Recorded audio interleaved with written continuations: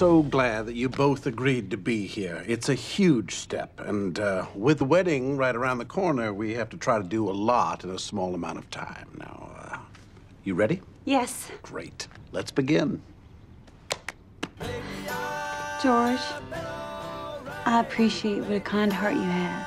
I appreciate how selflessly you give yourself to anyone who's in need.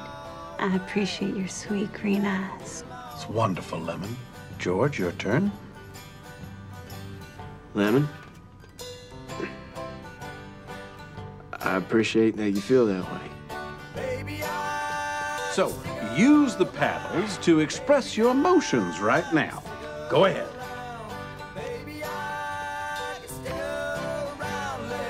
Yeah. You know what, Reverend? I think there's got. mm, I, I think that this is not possibly the, the best.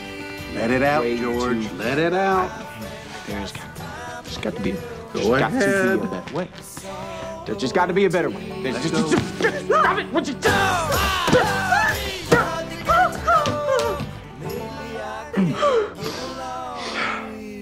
Apparently, very mad at that thing.